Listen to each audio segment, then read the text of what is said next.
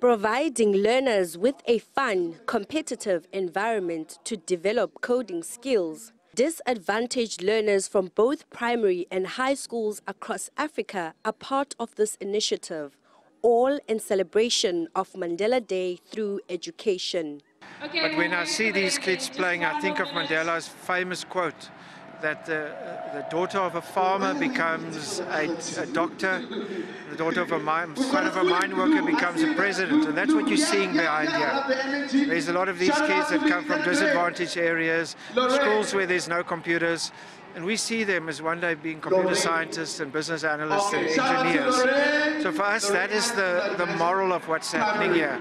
The learners acknowledge the importance of Mandela Day.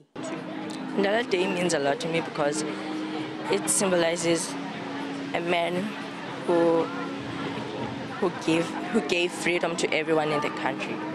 Like there there was there was a struggle in our country, but we as the youth we didn't we didn't experience that because of him. Mandela Day means a lot to me. It tells us how Nelson Mandela fought for our rights, for our freedom. It, if it wasn't for him, we wouldn't be here today. I'm just very grateful for what he did. And it's important because Nelson Mandela is the person who fought for all rights for everyone to be treated equally. Tangible Africa introduced unplugged coding, which uses a cell phone for coding instead of computers to help kids for under-resourced schools. What we're doing here is called unplugged coding.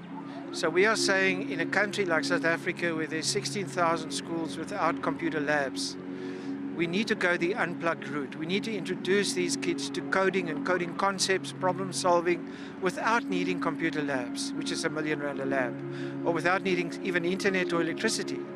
So for us, this is our philosophy to, to reach as many as possible learners across Africa especially in the remotest villages. The learners appreciate the opportunity to engage in coding activities, especially unplugged coding.